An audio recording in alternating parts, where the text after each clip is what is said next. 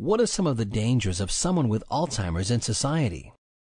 The individual that doesn't get appropriate attention might be out there driving, expose themselves to danger by, again, lacking the ability to, again, handle their car in a solid fashion or might endanger somebody else out on the road. So oftentimes, individuals with Alzheimer's disease that have now progressed a little further should always be being evaluated for their ability to, say, drive. Uh, in addition to that, the individual that becomes forgetful might wander, get lost, all of a sudden stray away from their neighborhood and not be able to you know, find where they're at. So imagine the anxiety or the frustration or the fear that somebody that uh, all of a sudden uh, finds that they can't find their way back to a secure uh, shelter.